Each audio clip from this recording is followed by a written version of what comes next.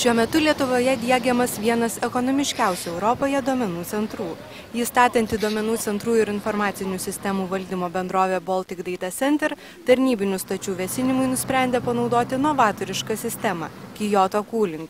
Sistemą pasiūliusios inžinerinių sprendimų bendrovės FIMA specialistai aiškina, kad Kyoto Cooling technologija šaldymui naudoja lauko oro temperatūrą. Todėl elektros energijos sąnaudos sumažinamos iki 8 kartų.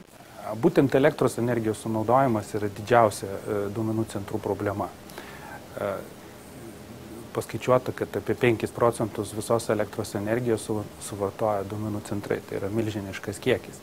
Tai verčia visus pagalvoti ir dėkti žalius duomenų centrus, kurie leistų sutaupyti e, daug piniginių lėšų ir atitinkamai tausoti gamtą. Daugiausia, iki 50 procentų elektros energijos duomenų centruose sunaudojama serveriams vėsinti. Tam tradiciškai naudojamos freoninės šaldymo sistemos. Tačiau pastaraisiais metais vėsinimo technologijos sparčiai tobulėjo ir tapo taupesnės. Kyoto Cooling yra viena naujausių Olandijoje patentuota sistema. Baltic Data Center tik trečia bendrovė pasaulyje turėsinti duomenų centrą su šia technologija. Kyoto Cooling sistema yra unikali tuo, kad jinai yra išnaudoja oro laukia temperatūrą.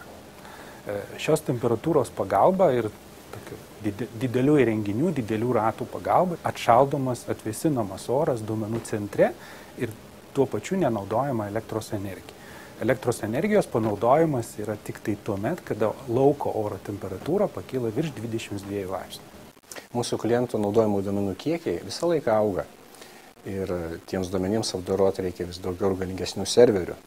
Serveriai naudoja elektros energiją, o jinai, kaip žinot, pastaruoju metu brangsta.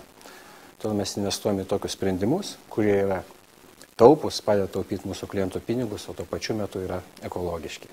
Šiuo metu Kyoto Cooling technologija Baltic Data Center duomenų centre jau sumontuota. Žadama, kad naujasis duomenų centras veikti pradės jau šį pavasarį.